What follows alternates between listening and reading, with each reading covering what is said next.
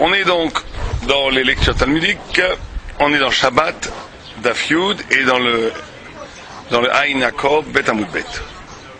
Donc, Rav Ami Verav Asi Aveyata Vegarse Bene Amoudé, Rav Asi, Rav Ami et Verav Asi, ils étaient assis, ils étudiaient toute la journée. Et avec tous les, toutes les heures, à chaque instant, pas tout le temps, mais chaque heure, disons, il frappait avec Tafrea Ibré des Dosho, il frappait sur le verrou de la porte, vers Amré, il disait, ils annonçaient publiquement, les lihol velissi. Si quelqu'un a un din, a besoin de savoir la halakha, un, euh, ou un, ou un- ou une querelle, une polémique, ou un cas juridique avec, un- avec son prochain, qui vienne nous voir, on va dire que la Torah dit.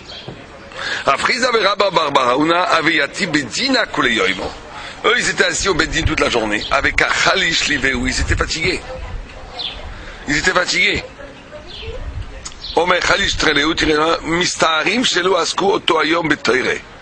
Ils étaient, ils, enseignaient, ils, faisaient le din toute la journée, mais ils étaient malheureux, pas fatigués, ils étaient malheureux de ne pas avoir étudié la Torah. Parce que quand tu fais la loi, tu es obligé d'entendre les gens qui disent. euh, quand tu règles des, contentieux, tu es obligé d'entendre tout le monde. Donc tu entends la femme qui crie, le mari qui dit non, et la femme qui dit oui, et le grand-père qui dit oui, et l'autre qui dit non. Donc tu as énormément de prises avec le réel qui ne font pas avancer au niveau de la loi, au niveau de la Torah, au niveau de la connaissance absolue métaphysique. C'est une confrontation réelle. Avec lequel tu as fait appliquer la loi, qui est une très grande mitzvah, c'est pour ça qu'ils le faisaient. Mais ils étaient quand même malheureux de ne pas, de, que tout ce temps passé à faire appliquer la loi de la Torah en tant que juge, ils ne, ils n'avaient pas la satisfaction d'étudier la Torah. Taneleu. Rabbi Chia bar bar Difti. Il a, il enseigné, Rabbi Chia bar Difti, Viamod Aam al Moshe mina boker ved erev. Qu'avec Moshe Rabbeinu, ils étaient devant le peuple du matin jusqu'au soir. Ah, ça il dit, est-ce que tu crois, est-ce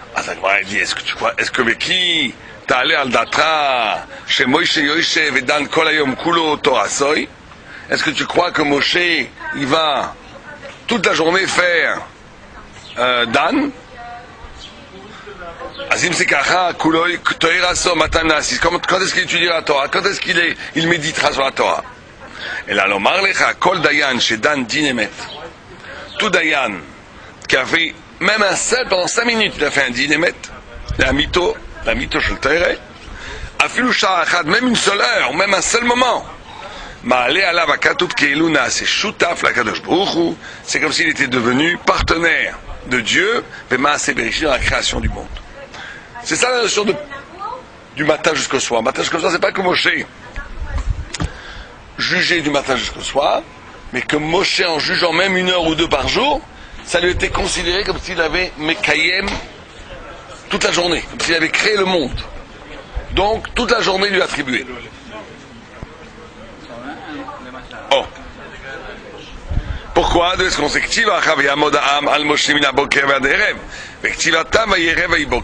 On voit qu'il y a une symétrie dans les psukim entre l'acte que Moshe jugeait et l'acte de la création du monde. Mais Yom Echad. Jusqu'à quand est-ce qu'on fait le din Jusqu'au repas, jusqu'au déjeuner. Oh, on va essayer d'analyser ça. Tout d'abord, pourquoi est-ce que on disait donc on dit que les premiers ils ils étudient la Torah, mais qu'il y a une sorte de dissymétrie dans le texte, parce qu'au début, les premiers rabbins appellent sur eux le din, appellent sur eux de vouloir de juger les gens, alors que les deuxièmes rabbins se plaignent de juger toute la journée et de ne pas pouvoir étudier. Ceux qui étudient suscitent le din, et ceux qui font le din en- jalousent la Torah, envient la Torah. D'accord? Donc on te dit ici une idée fondamentale depuis le début, c'est que c'est il y a une sorte de ici de paradoxe fondamental qui est, le, qui est au cœur même de la pratique de la Torah, qui est que d'un côté, que d'un côté, la Torah a pour vocation de ne pas être qu'une métaphysique, mais de s'inscrire dans le réel. On est bien d'accord. La Torah, c'est pour ça qu'elle est donnée à Shavuot, et c'est pour ça que Shavuot, c'est la naissance de David Ameler, qui est le Malchut, qui est le Mashiach. Pour bien montrer que la Torah est donnée le jour de Shavuot, et David Ameler né le jour de Shavuot, pour te montrer comment il est né maintenant, il, a vécu 70 ans bidiouk. David, ah bah oui, de toute façon, puisque, puisque Adam Arishon a donné 70 ans et 3 heures. Il devait vivre 3 heures, lui. Donc, donc il est forcé qu'il est né et, mort le même jour. En, plus de ça, les tzadikim, normalement, ils, naissent et ils meurent le même jour. Comme, comme Moshe Rabbeinu, 7 Adar, 7 Adar. Mais ça, il n'y a pas besoin d'ici dans l'arrivée de tzadikim. David Amelé, avec 3 heures, il a donné 70 ans, donc il est obligé de, naître et de mourir le même jour. C'est quand même un bon siman. Maintenant, maintenant, pourquoi est-ce que justement la Torah, plutôt que David Amelech né, que le Mashiach, il naît le jour où la Torah est donnée pour bien signifier par là que la Torah n'est pas qu'une métaphysique, qu'elle doit s'incarner dans la royauté, qui est le Malchut, qui est le réel. D'où et une des manifestations du Malchut, c'est la loi. Donc, le din, donc le tribunal. On est d'accord Mais d'un autre côté, le tribunal c'est le rapport au réel te fait perdre toute la dimension métaphysique de la Torah. Un petit peu, ou plutôt beaucoup, ça dépend, chacun selon. Donc là, il y a une sorte de. C'est pour ça qu'il y a une dissymétrie dans le texte. mais celui qui étudie la Torah, il veut, il veut faire le dan parce qu'il veut que sa Torah soit appliquée dans le réel. Mais celui qui est dans le réel veut rejoindre les hauteurs spirituelles de la Torah. Donc il y a une sorte de, de mouvement de balance entre l'étude et la et, l'incarnation de cette étude et l'arrachement et, une sorte de une sorte de, pas de suspicion mais une sorte de de, réticence ou de méfiance pas de méfiance ou plutôt de vigilance voilà le vrai mot par rapport au de ne pas s'embourber dans cette incarnation parce que l'incarnation du réel ressemble très très très vite au réel et tout d'un coup on oublie les dimensions métaphysiques de ce qui inspire cet état de fait. Donc c'est ce qu'il nous dit. Ce que dit le Rif ici.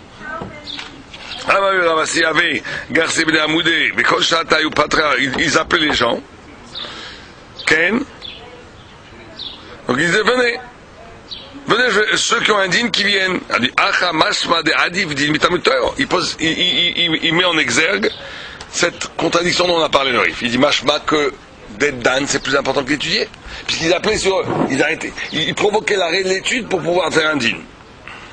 Ok Ah, et pourtant on a dit dans Maïd Katan, לדיינים שאינם מומחים שפעמים נוטים אחרי השוחד וקשה דהם יקשו התויספוס בידיך אמרי כן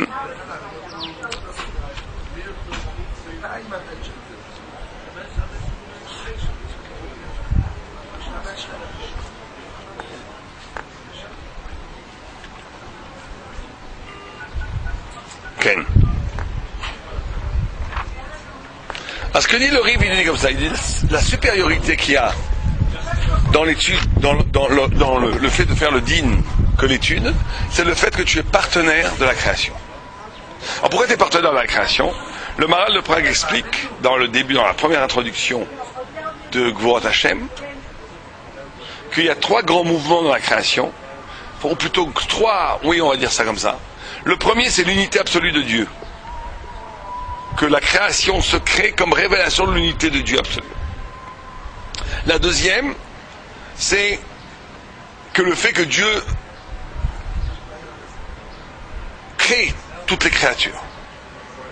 Le troisième, c'est qu'il organise ces créatures selon des lois divines qui leur sont propres. Il y a comme si trois mouvements. Il lit ça aux trois, au, au que la Mishnah dit, la Mishnah dit qu'on le Maaseh Merkabor de l'étudier tout seul, on ne va pas l'enseigner. Que les, le Maaseh Bereshit, on peut l'enseigner à une personne. Et que les Sod Arayot, on peut l'enseigner qu'à deux personnes, pas plus. Le secret de pourquoi est-ce qu'une tente est interdite, etc., des choses comme ça. Et il explique le Marak, ces trois choses-là sont liées à trois dimensions de l'être, trois dimensions dans, dans la révélation, qu'il y a une dimension dans la révélation qui est une dimension qui est une dimension qui est l'unité absolue de Dieu, ça, elle n'est pas partageable. Ça, c'est. Euh, non, oui, c'est Merkava.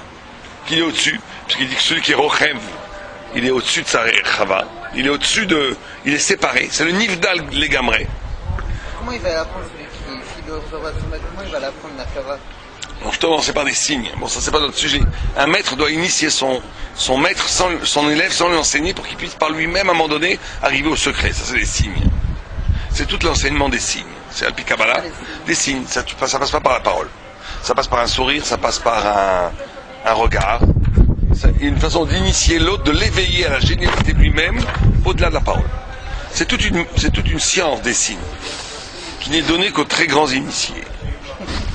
Il y a un deuxième niveau où là tu peux enseigner, c'est Bereshit. Parce que Bereshit met déjà en relation le créateur et la, créa- et la créature.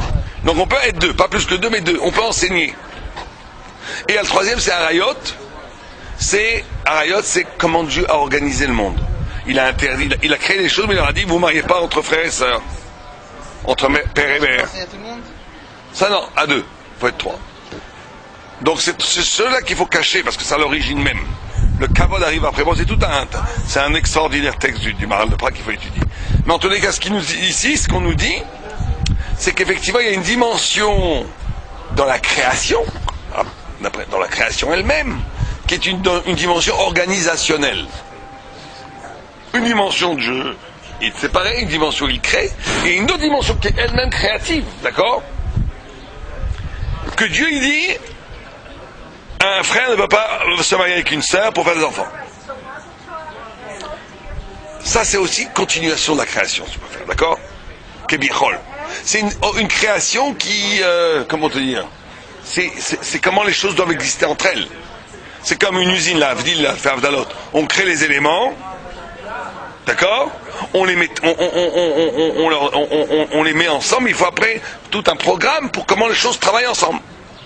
Tu comprends? Donc c'est aussi la création, ça. Parce que s'il n'y avait pas ça, les choses se casseraient au bout de deux minutes, ça n'existerait pas. Donc ça, c'est le din. C'est pour ça qu'on est partenaire dans la création. Quand celui qui dit le din, il, il est shootable dans Kadosh dans, dans ce niveau de dans ce troisième niveau de création, qu'est-ce qui s'appelle le irgun de de de, de Messad- le le Adavar. Et comme le Seder est lui-même une part du créatif, celui qui fait le digne et qui dit qu'est-ce qui est interdit, qu'est-ce qui est assourd, donc l'interdit et le assourd sont toujours des relations. Ça peut se mettre avec ça ou ça ne peut pas se mettre avec ça. Comme on est dans cet état de logique-là, ça crée que tu es partenaire de la création. Et donc ce partenariat de la création a un niveau qui est supérieur à lui qui, qui- qui n'est que de l'ordre de la contemplation de la vérité. Et non pas, pas que cette vérité devienne une partie de partenariat avec Dieu pour organiser le réel. Verstehst? Ja. Oh.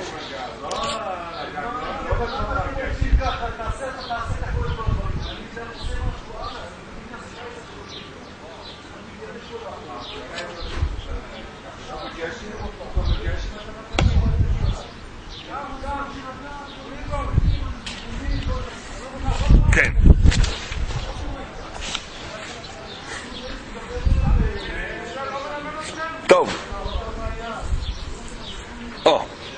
Donc comme on le voit avec Moshe Rabbeinu. Alors là, il y a aussi une autre idée intéressante, c'est que le dîne, comme il est, il a une portée qui est au-delà du temps. Comme le dîne est, comme on vient de dire, une shoot à foot avec le même si tu fais ça 5 minutes par jour, et c'est pour ça que, al même, les bédines fermes ne travaillent pas toute la journée. Et ils ferment vers midi, vers une heure, comme dans le Shulchan Aruch, c'est écrit. Qu'on est dan jusqu'à à peu près après Chatzot. Pour ça. Pour bien signifier que l'effectivité spirituelle et métaphysique de la loi d'Israël, donc de la Torah, dans le réel, elle n'a pas besoin d'accompagner une règle chaque seconde. Il suffit d'avoir. C'est ça la différence entre quelque chose de matériel et de spirituel. C'est quelque chose de matériel pour exister, il a besoin de s'affirmer. Dès qu'il n'est pas, il n'est plus. Alors qu'une activité éminemment spirituelle, elle transcende le temps, elle n'est pas liée au temps. Donc même si elle est 5 secondes par jour, elle perdure toute la journée. C'est le sens même d'un acte spirituel. C'est pareil dans la vie. Pour savoir si ton acte est un acte qui a une dimension d'absolu, ou ton acte a une dimension de contingente, il faut se- il faut s'interroger sur le fait il faut s'interroger sur le fait. You gotta write it down afterwards. What you finish your head. Oh, I try to get the the Chaim Alevi it never worked. it didn't work? So you have to work. Uh-huh. Bezrat Hashem. There's no chazan talk and learning. You don't have it. Yeah, we, now we're doing the Birkat Shmuel in the morning. We want to do all the Birkat Shmuel on the, on the, on the this year. That's good. That's very shit. It's good, it's good on Birkat Shmuel. You have a good question. So, tu comprends Donc maintenant, donc maintenant qu'est-ce qu'on dit On dit que c'est ça la différence entre un acte contingent et un acte absolu. L'acte contingent qui n'a pas de sens au niveau spirituel, qui ne rédime pas la vie, qui n'exalte pas la vie, est un acte qui va s'effondrer avec le temps, qui va s'évaporer avec le temps plutôt, qui va s'évaporer avec le temps. Puisqu'il est lié, et son existence n'est que contingente, donc elle n'existe qu'avec le temps qu'il y a, où elle s'exprime. Alors que un acte spirituel, véritablement spirituel, il n'a aucun rapport avec le temps. Donc il est comme il, est au-delà du temps, puisqu'il il, il prend sa racine dans l'absolu, et non pas dans le contingent du temps qui passe. Donc ça n'a aucune, importance le temps que tu passes. C'est pas ça ce qui est important. Donc c'est quelque chose qui est. Donc, donc il va avoir un affect sur toute la journée. C'est pour ça que on dit, au-delà même, même plus bas que, le, fait de juger, on dit que l'étude de la Torah, celui qui étudie la Torah, ça le protège toute la journée. Alors que celui qui fait la mitzvah, ça le protège où il fait la mitzvah. Parce que, Je ouais, non, la mitzvah elle est quand même beaucoup plus, elle est de l'ordre de l'ordre du gouffre. C'est bien sûr spirituel, mais c'est un spirituel qui est beaucoup plus con. Yachassi, elle ne te protège que quand tu fais la mitzvah. Dès que tu as fait la mitzvah, ça ne te protège plus. Alors que la seule chose qui te protège toute la journée, c'est la Torah. Parce que la Torah, c'est une partie de toi. Donc c'est un- c'est complètement, c'est au-delà du temps. Peut-être que la partie de la mitzvah qui est Torah, elle te protège. C'est la partie de la Torah que tu intègres comme un savoir. La partie de la mitzvah, je veux dire. Que tu intègres comme un savoir, elle, va se prolonger au-delà de l'acte. Mais ce qui va te protéger, c'est pas la mitzvah. C'est la Torah que tu as dégager de cette mitzvah. Mais la mitzvah te met dans un espace spirituel tant que tu fais la mitzvah. Dès que tu finis la mitzvah, cet espace spirituel n'est plus protecteur. Alors que l'étude de la Torah, qui est un lien entre toi et, et à plus forte raison, encore Calvechom est celui qui donne, donc qui devient partenaire de Dieu dans la création, celui qui, fait la- apporte la loi au monde dans un bedding. Ces deux actes-là sont des actes qui dépassent le temps parce qu'elles ont un lien de ton intimité, de ta subjectivité, avec la parole du Dieu vivant, qui font que tu- maintenant tu es comme un fragment de lumière dans la lumière qui dure toujours. D'accord Oh. Alors ce qui est intéressant, c'est que le texte nous dit, tout d'un coup, il nous dit jusqu'à quand Là, on était dans les grandes idées. Tout d'un coup, on te dit jusqu'à quand doit-on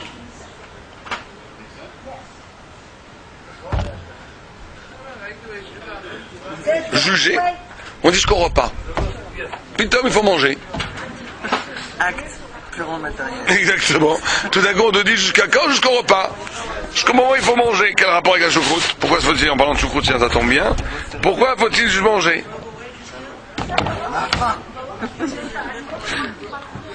Pourquoi on nous dit jusqu'à quand Jusqu'à qu'il faut manger? Jusqu'au Seouda, Azman Seouda. Pourquoi?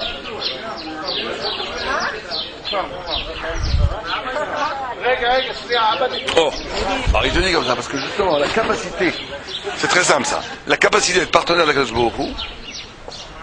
c'est tant que t'as pas faim. C'est bien entendu. Dès que t'as faim, c'est-à-dire que dès que ton corps, ta matérialité te ramène au réel, là tu n'as plus le droit de juger.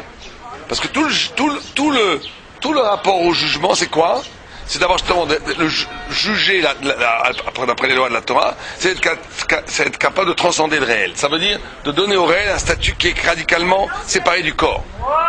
Indépendant du corps de l'appétit animal. Mais si tu as faim, c'est fini. Si tu as faim, ça veut dire que maintenant tu n'es plus dans une position où tu peux faire ça.